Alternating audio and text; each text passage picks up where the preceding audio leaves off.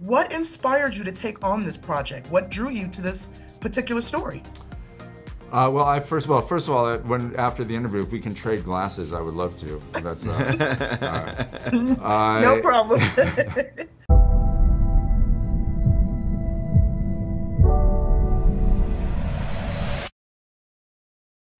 Parisian couture could influence how thousands of ordinary women dream and live.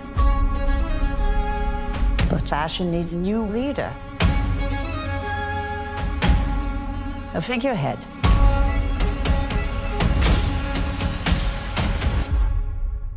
In 1997, I came across uh, a newspaper article celebrating the 50th anniversary of Christian Dior launching his first collection in 1947.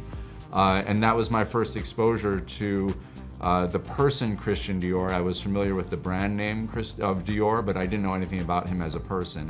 And it stuck with me that he launched his first collection after the horrors of World War II and that his contemporaries were Chanel, Balenciaga, Balmain, Givenchy, all these names that I was familiar with, but I didn't know anything about them as people.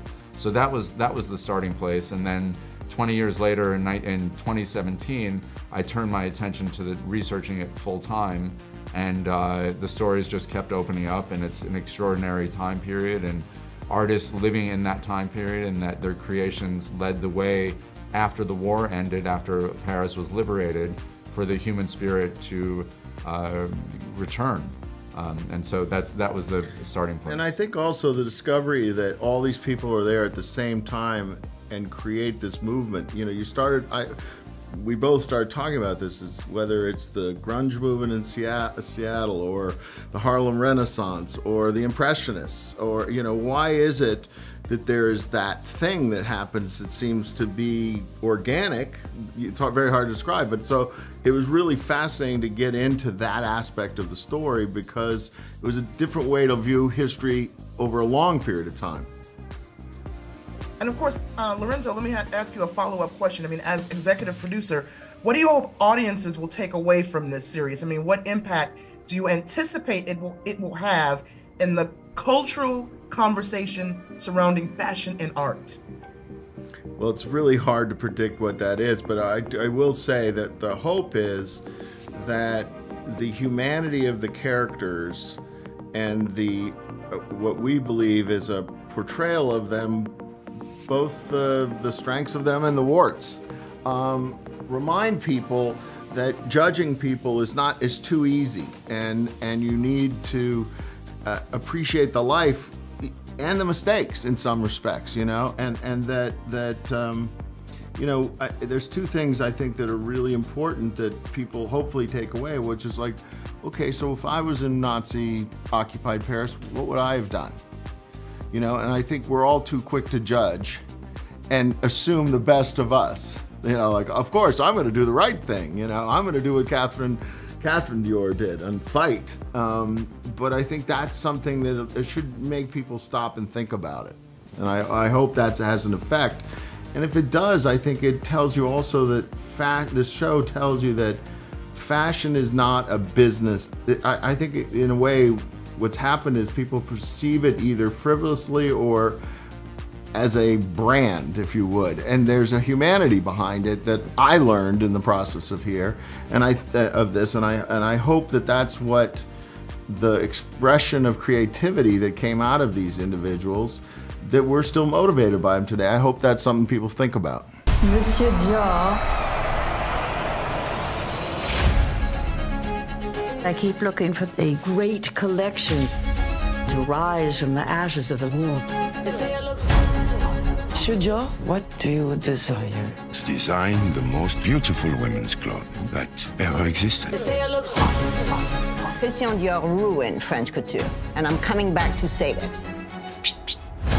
For those of us who lived through the chaos of war, creation was survival. The legend of Coco Chanel. If people only knew. If I keep on giving them lips that can kill, they gon' have to come and arrest me. Chanel can be very treacherous. Oh, yes. My heart Are you happy with the revolution you started? There is the truth But there is always another truth that lives behind it. Your sister, she's not safe. Creation cannot stop the bullet, but creation is our way forward. And of course, I love the cast. Fabulous ensemble cast Ben, Juliette, Maisie, John. Question for you, Todd How would you describe the creative energy that these dynamic players brought to the set?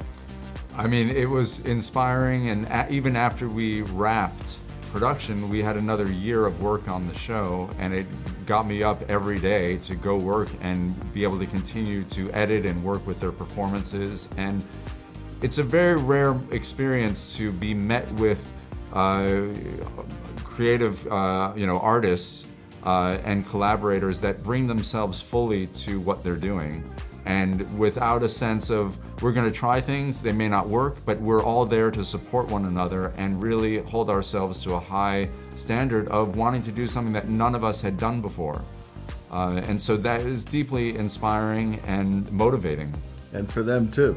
Yeah. And for them, I, I think, you know, they brought game because they knew game was coming from the other actor. And, and so it, it had a self perpetuating effect. And ultimately honoring the real people who their characters are inspired by and based on, and honoring the lives of the people whose stories we're telling.